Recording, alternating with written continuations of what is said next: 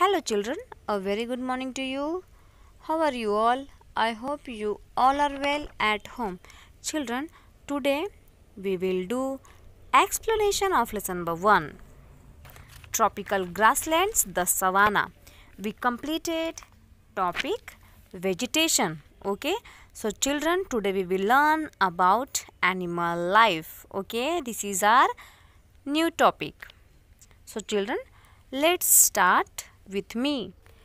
Children, the savanna is home to some magnificent animal such as the African elephants, giraffe, zebra, ostrich, rhinoceros and among the herbivores. Okay children ये सारे जो animals हैं वो savanna tropical grasslands में रहते हैं okay as you can see in this picture children and this all are the herbivores okay ये लोग क्या खाते हैं? जैसे कि फॉर एग्जांपल जिराफ क्या खाता है? तो लीव्स खाता है राइट जेबरा क्या खाता है? तो लीव्स खाता है. एलिफेंट्स भी क्या खाते हैं? लीव्स वगैरह ही खाते हैं. ओके और चिल्ड्रन उनको खाने वाले कार्निवरस भी वहाँ रहते हैं such as lions crocodiles leopards cheetah and hunting dogs okay जो क्रोकोडाइल्स होते हैं लायंस लेपर्ड चीता ये जो होते हैं, वो सारे हर्बीवरस को खाते हैं। फॉर एग्जांपल जेबरा को खाते हैं जिराफ को खाते हैं एलिफेंट के ऊपर भी हमला कर देते हैं खाने के लिए। ओके तो हर्बीवरस एंड कार्निवरस दोनों टाइप्स के एनिमल वहाँ पर रहते हैं, okay? Children animals migrate during the dry season in search of fresh pasture and water they return when the rain start and the land is covered with grass rivers also start flowing at this time means children जो animals होते हैं, वो dry season में दूसरे place पे चले जाते हैं in search of fresh food के लिए एंड फ्रेश वाटर के लिए। Okay okay? क्योंकि सवाना जो ट्रॉपिकल ग्रासलैंड है, वहाँ पर ड्राई सीज़न में बारिश बिल्कुल भी नहीं होती है।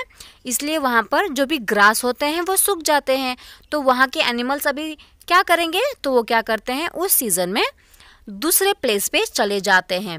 ओके और जब वापस से बारिश वहाँ पर शुरू हो जाती है तो वो फिर वापस से अपने प्लेस पे स्टार्ट्स आ जाते हैं क्योंकि लैंड जो होता है चिल्ड्रन वो किससे कवर हो जाता है? ग्रास से ओके और रिवर में भी पानी आ जाता है जिसके वजह से जो वापस से जो गए हुए एनिमल्स होते हैं वो वापस से अपने प्लेस पे आ जाते हैं ओके आई होप चिल्ड्रन इतना आप लोगों को समझ में आ गया होगा okay children as we already know that animals live in relative safety in the national parks of various African countries. Children, animals की सेफ्टी के लिए एनिमल्स को कहाँ पे रखा जाता है पार्क्स में रखा जाता है जू में रखा जाता है राइट right? तो अफ्रीकन में भी अफ्रीका में भी क्या है नेशनल पार्क्स है जहाँ पर एनिमल्स को रखा जाता है okay Serengeti national park is one of the most famous wildlife parks in the world children पूरे वर्ल्ड में कौन सा नेशनल पार्क फ़ेमस है? Serengeti national park okay keep in your mind children it will be come in your exam children Australian grasslands are call the bush okay जो Australia में जो grasslands होते हैं ना, उसे क्या कहा जाता है? बुश कहा जाता है where kangaroos wallabies emus and dingoes live okay you can see in this picture children emus kangaroo ये सारे लोग ऑस्ट्रेलियन ग्रासलैंड्स में रहते हैं okay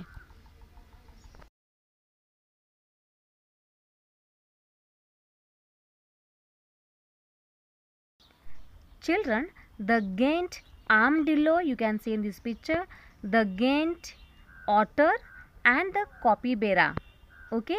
The largest rodent in the world. Rodent means children, जो अपने दांतों से कोई भी चीज़ को कट कर सकते हैं। फॉर एग्ज़ाम्पल रैट भी एक रोडेंट है, क्योंकि वो भी क्या करता है? अपने दांतों से कोई भी चीज़ को कट कर देता है। राइट तो चिल्ड्रन उसी तरह ये जो एनिमल्स है, गेंट आमडिलो, गेंट ऑटर, वो लोग भी अपने दांतों से कोई भी चीज़ को कट करते हैं। Okay like rat and children they are the largest rodent in the world आपको ये नाम याद रखना होगा क्योंकि they are the largest rodent in the world and children the anaconda the largest snake in the world children keep in your mind largest snake in the world is anaconda. Okay, you can see in this picture. So, children ये सारे animals भी वहाँ पर पाए जाते हैं, okay? कहाँ पर? ऑस्ट्रेलियन ग्रासलैंड्स में, okay? So children animals life is completed next topic we will do in next video thank you so much children stay home stay safe stay happy